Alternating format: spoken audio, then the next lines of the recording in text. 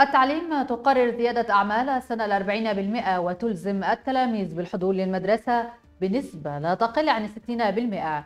ولا ينقل الطالب للصف الأعلى إلا بعد اجتياز البرنامج الذي أعدته المدرسة. ما تفاصيل هذه القرارات؟ وكيف يتم توزيع الدرجات في الفصل الدراسي؟ كل هذه التفاصيل وأكثر معنا في تقييم أصدرت وزارة التربية والتعليم والتعليم الفني قرارا وزاريا بشأن نظام الدراسة وتقويم في الصفوف الابتدائية والإعدادية حيث شمل القرار تطبيق المناهج الدراسية المقررة على الصفين الأول والثاني الابتدائي للغة العربية واللغة الإنجليزية أيضا ومتعددة التخصصات والتربية الدينية والتربية البدنية والصحية والرياضيات بمجمل 15 فترة وتكون مدة الفترة الدراسية 100 دقيقة. كما قررت وزارة التربية والتعليم والتعليم الفني زيادة درجات أعمال السنة الأربعين بالمئة من مجموع الطالب للحد من الغياب بالمدارس حيث يتم توزيعها على الحضور والمواظبة والسلوك وامتحانات الشهر في صفوف النقل. أما عن تفاصيل تقييم طلاب صفوف النقل من العام الدراسي القادم فنص القرار على أن يقوم نظام التقييم للصفين الأول والثاني الابتدائي على قياس الأداء والسلوك الفردي والجماعي للتلميذ.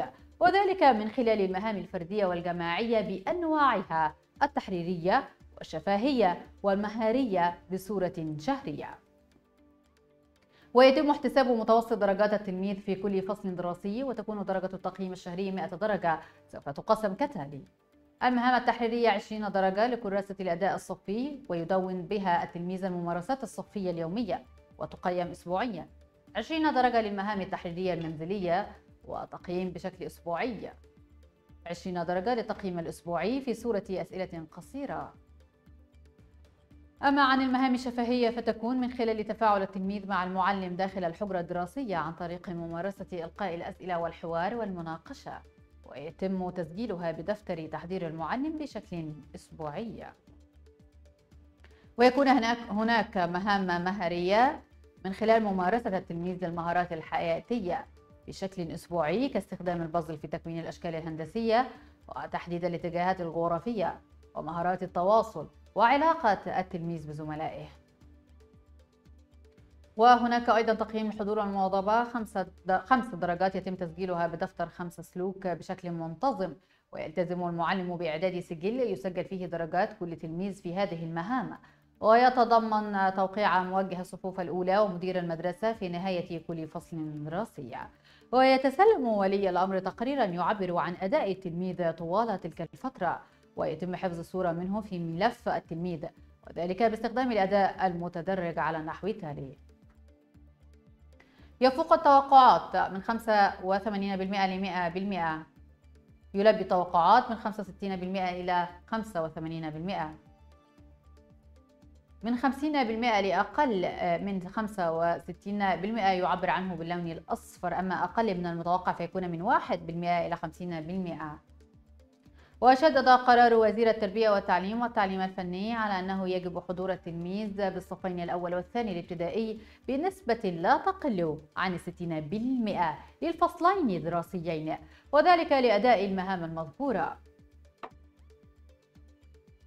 ويجب على التلميذ اجتياز البرنامج كي يتم نقله للصف التالي. ويكون ذلك تحت إشراف وتوجيه الصفوف الأولى على مستوى الإدارة التعليمية والمديرية وعلى إدارة المدرسة اختار ولي الأمر بتقرير البرنامج العلاجي الخاص بالتلميذ ونجاحه في, اجتياز في الاجتياز من عدمه.